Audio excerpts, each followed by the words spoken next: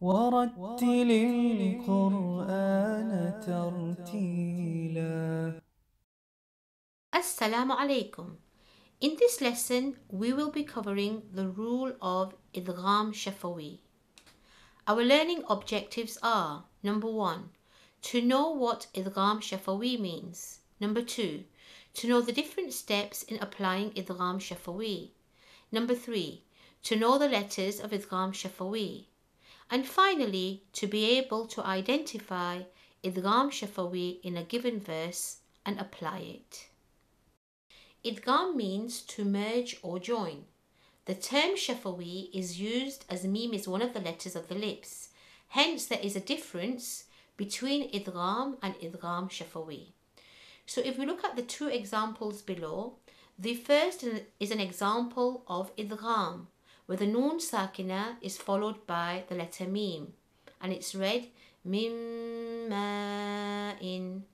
The second is an example of idgham shafawi where the mim sakina is followed by the letter mim read walakum ma kasabtum. So how do we identify idgham shafawi? Step 1. Find mim sakin. Step 2. Look at the letter immediately after mim sakin and this applies to all rules. Step 3. The letter after must be the letter mim. And finally, to hold the sound of mim sakin with a ghunna for two counts. So let's look at an example together. Step 1. Find the mim sakin. So if we go across, we can see that there is a mim sakina. Step 2. Look at the letter immediately after mim sakin. Step 3. The letter after must be the letter mim. So we can see there is a mim sakin followed by the letter mim. Step 4. Hold the sound of the mim sakin with a gunna.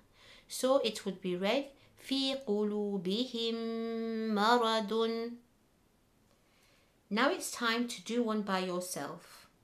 Find the idgham shafawi from the following verse. Resume the video to find the answer. Now let's go through the answer. Step 1. Find the mim sakin. So if we go across, we can see there is mim sakin. Step 2. Look at the letter immediately after mim sakin.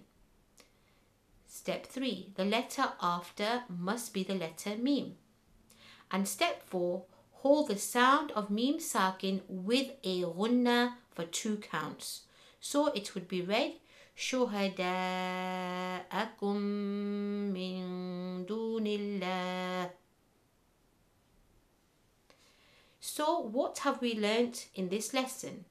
We know what idgham shafawi means. We know the letter of idgham shafawi We know the steps required to identify idgham shafawi in the Quran and we can identify and apply idgham shafawi in the Quran. Hope you have benefited from this lesson. Keep seeking knowledge. مع السلامة